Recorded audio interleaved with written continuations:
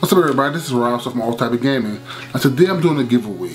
I'm giving away two items, one digitally, one physically copy of something. And the first time I'm giving away is Mewtwo for the Nintendo 3DS. That's why you you have a chance to get this before everybody else actually playing it. One code, I believe it's two codes.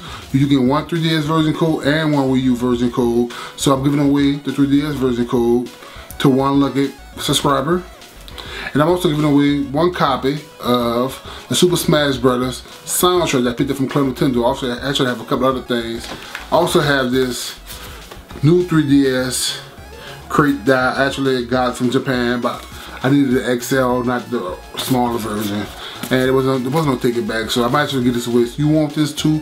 Leave a comment below, let me know.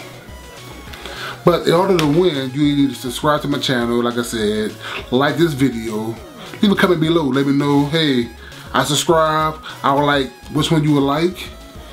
I'm not sure how I'm to do it just yet, how I want to pick, but leave a comment below saying which one you would like.